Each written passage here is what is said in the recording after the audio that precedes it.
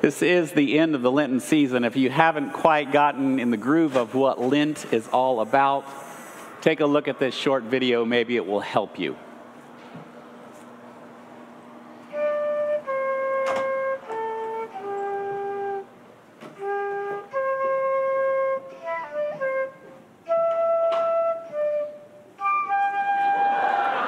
Okay. Jenna, can we run that one more time? This time, while you watch it, notice the exasperated shrug of the guy just before the sheep jumps in the second time. It's great.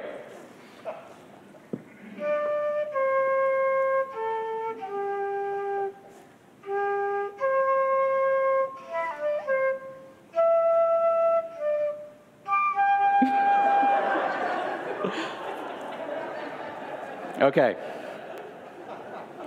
There you go.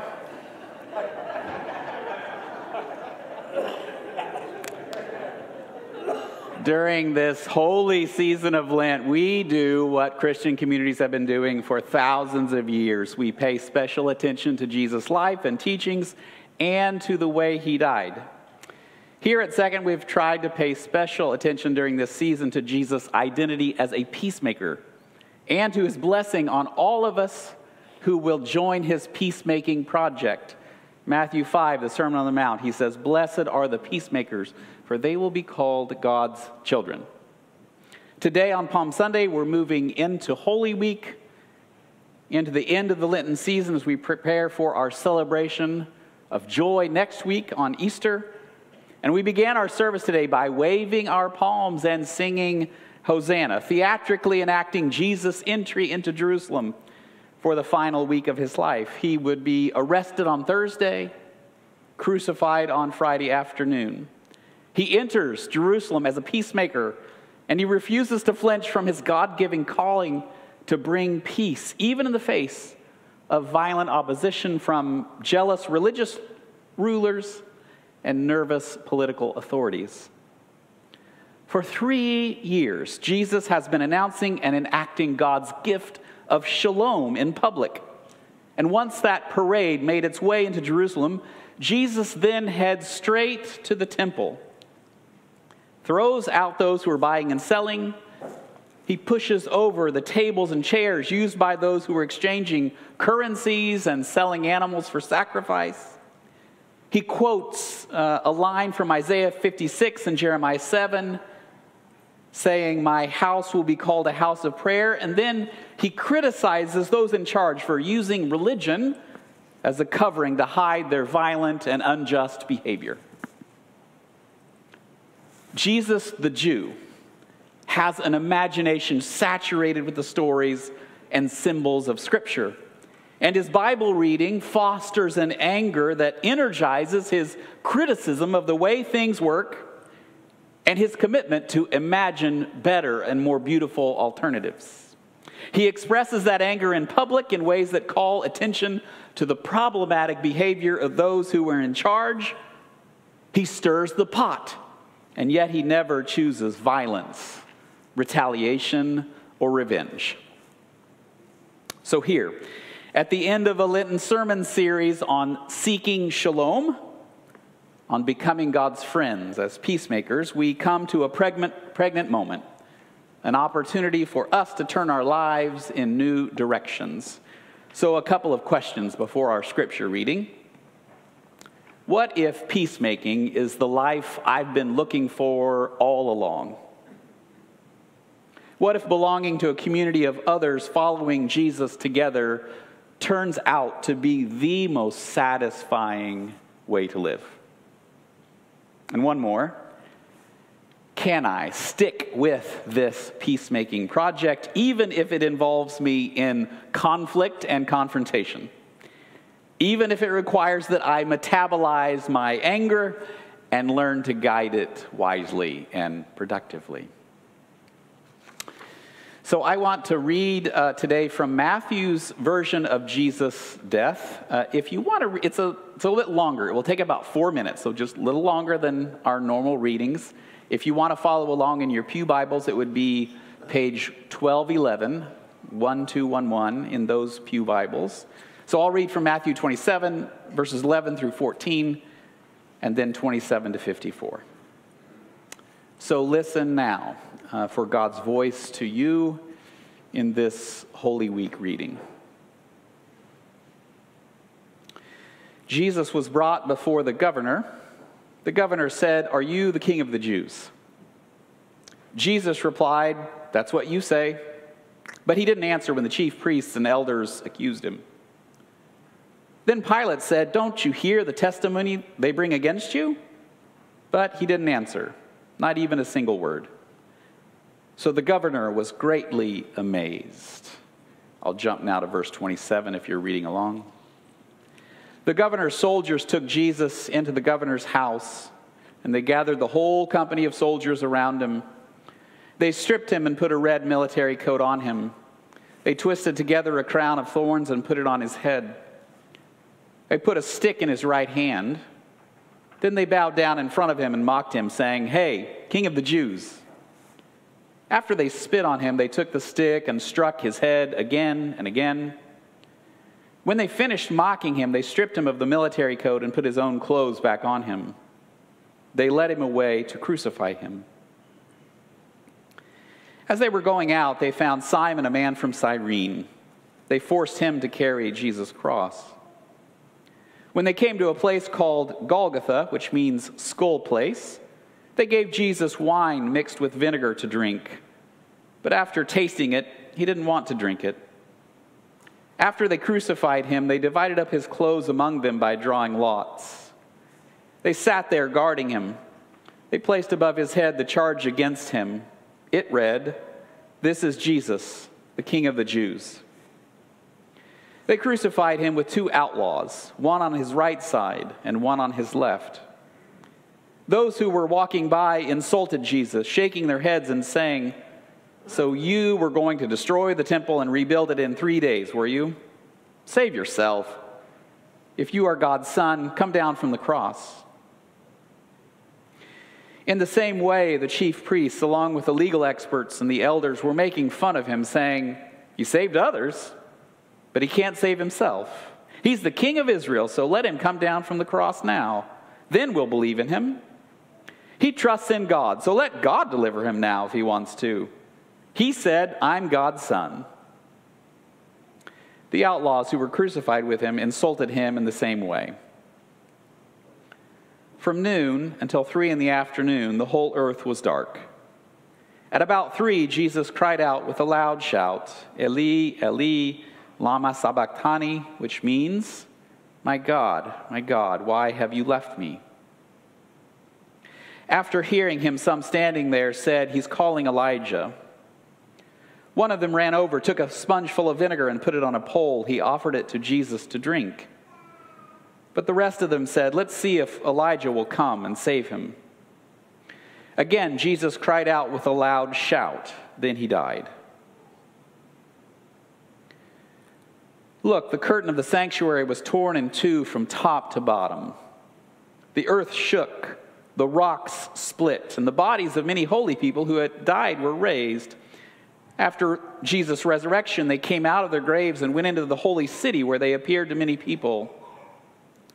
When the centurion and those with him who were guarding Jesus saw the earthquake and what had just happened, they were filled with awe and said, This was certainly God's Son.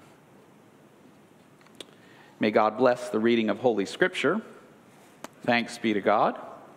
Just a moment of silence after that reading.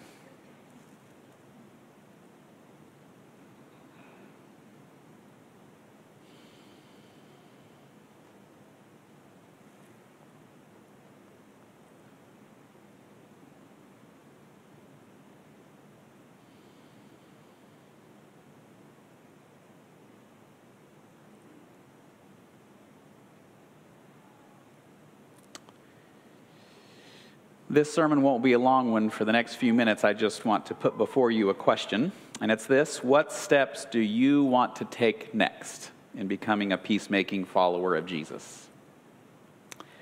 I'm not going to argue about how Jesus' death saves you and ushers you into this peacemaking way of life.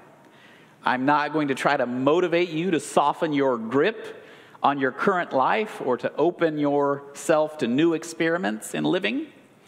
I'm simply going to assume that you are here, that all of us are here because God's Spirit has awakened in us this desire to respond to God's love by seeking shalom. So let me ask you again what steps do you want to take next in becoming a peacemaking follower of Jesus? So, a few possibilities to spark your imagination. Does the good news of God's shalom call you to communicate with less violence and more kindness? One option. Is God calling you to tend with more care to the way you interact with other people? Perhaps you feel compelled to become a better listener, creating more room for others to communicate their needs, releasing your grip on the need to be right. If speaking and listening with more grace and empathy in conflicted relationships or in your social media feeds perhaps feels like a promising growth area for you, God might be calling you to embody peacemaking as a nonviolent communicator. That'd be a wonderful way to take a next step. Or maybe this good news of God's shalom will motivate us to take up more peaceful ways of relating to ourselves. Kristen's sermon earlier in this series explored how we might learn to make peace within our own hearts, forgiving and accepting ourselves so that we can learn to extend that kindness, that warmth to others. So, if you feel called to explore ways to relate to yourself with less violence, less anger, less judgment, less criticism, that will be a pivotal, pivotal doorway into new possibilities. Jesus teaches that we respond to God's love by learning to love both others and ourselves. And Kristen's sermon was a reminder for all of us to keep those two things together. Or maybe God is calling some of us into the difficult work of peacemaking within our families. That was our conversation last week. Relating well and wisely to our families is one of the toughest tests there is for peacemaking. Some of you have been deeply hurt by family members. Some of you are worn out from trying to relate in healthy ways to siblings, parents, children, in laws. Some of you have come to the realization that it's time to let go, time to invest your energy in other directions to create some alternative context for the care and support and encouragement that you need letting go of patterns that are stale or harmful so that you can relate to others in fresh ways, that is no small thing. This is the way God's Spirit can often shift our energy from negativity and complaining towards fresh openings for what's next. In this Seeking Shalom series, we've largely focused on interpersonal matters, relational forms of peacemaking. But some of you will be inspired by God's Spirit to forms of peacemaking that will be more oriented to politics and public policy, social justice, and nonviolent activism. Good for you. Here at Second, some of our advocacy work, our activism, our social justice efforts are coordinated by our Matthew 25 committee. I am really grateful for the passionate leadership of this group of people in areas of racial and economic justice, particularly. So if you're here and you just need a way to get started, I can't think of a better option than just getting more involved with the ministry sponsored by our Matthew 25 team. But they would be the first people to tell you that they don't have a monopoly on the range of causes or the kinds of projects that God might be stirring up in your heart. You may have specific experiences or passions that direct your energies towards particular kinds of problem solving. I can't name them all, but here's a few. In the wake of recent gun violence in Nashville, you may be ready to collaborate with other people on sensible gun reform, gun reform or voting rights, or environmental justice and climate change matters, or refugee resettlement, or immigration policy, or literacy programs in schools, or labor efforts to promote a living wage and just compensation, or promoting entrepreneurship in low income neighborhoods, or work, working for LGBTQIA rights, or police reform, or creating compassionate services for those living with substance use issues, or supporting victims of domestic violence, or broadening access to higher education, or championing affordable housing as a civic priority, or promoting better sex education and sexual health for all, or getting involved in campaign finance reform, or a little less directly, but no less important, you might be a creative person. And you might feel called by God to use creative forms of expression and art to bend our imagination in new directions. Maybe you're someone who feels called to write good stories or provocative poems. A person who seeks peace by the way you play music or edit video or do graphic design or by folding little paper cranes. Who knows? The options are limitless. So, friends, please don't try to do all of these things. That wasn't meant to be an exhaustive list, just a little provocation for you. Just find the next thing, the next step that makes sense for you. And no matter what that next step is for you, let, remi- let me remind you just of a few things. First, you might stir up some good trouble. Your family might make fun of you, people at work might talk behind your back, your Aunt Gladys might make fun of you, might criticize you on Facebook. Okay.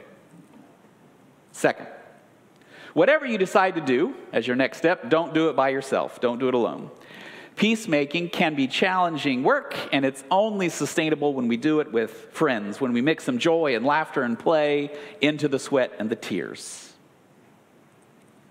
Third, finally, don't let anybody else tell you what God is calling you to do next. If you defer to someone else's calling, if you default into someone else's passion project, you probably won't last. So there's no particular step you need to take, but God's love has placed you onto this path, and you do need to keep moving. That's why this entire Lenten season, that's what this entire Lenten season about the journey has been aiming for. We have been praying for God's Spirit to sweep us into joyful practices of peacemaking. And I can't wait to find out some of the ways God is calling you a little further in this journey.